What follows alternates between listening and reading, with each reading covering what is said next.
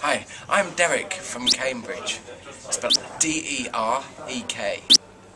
Today I'm going to define for you the idiom to, to get the green light. to get the green light.